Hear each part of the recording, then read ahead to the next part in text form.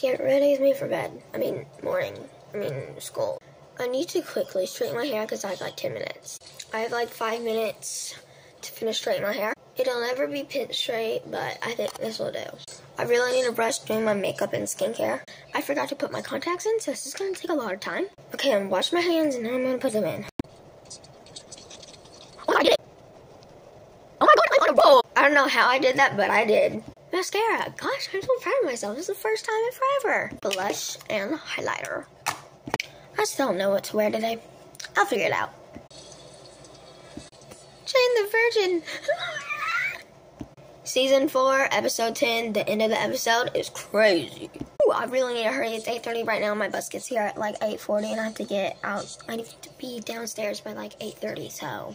I took one of my outfits from my suitcase because I didn't know what to wear. On the bus, bye.